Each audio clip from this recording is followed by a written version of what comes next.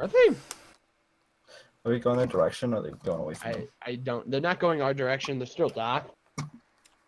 Well, I'm gonna go take a shit. Remember, Alex. What do you do if you see them? Yell. if they get on the ship, plead for mercy and say I wasn't there. I'll be. And I'll shoot at them.